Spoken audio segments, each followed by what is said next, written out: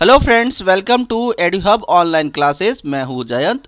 तो दोस्तों कंप्यूटर अनुदेशक भर्ती की अगर बात करूँ, इसमें तीन हज़ार से भी ज़्यादा पद आपके रिक्त रह चुके हैं।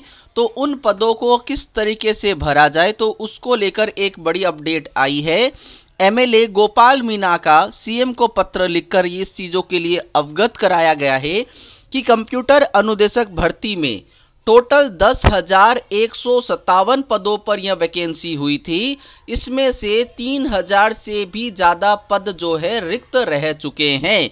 निवेदन किया गया है कि भर्ती न्यूनतम प्राप्तांक जो कि 40 परसेंट और 35 परसेंट है, उसमें स्थिरता दी जानी चाहिए। जिससे क्या हो कि जो रिक्त पद रह गए हैं, उन पदों को भरने में सहायता मिल सके।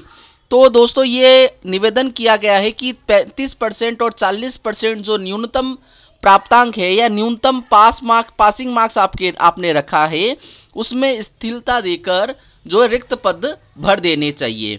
साथ ही रिज़ल्ट की बात करूँ तो रिज़ल्ट के लिए कहा गया है कि वीडियो भर्ती का जो परिणाम है, वो 24 नवंबर को आएगा। और जैसे ही 24 नवंबर को आपके पास ग्राम विकास अधिकारी का रिज़ल्ट आ जाए, उसके बाद कंप्यूटर अनुदेशक भर्ती के परिणाम को भी जारी कर दिया जाएगा।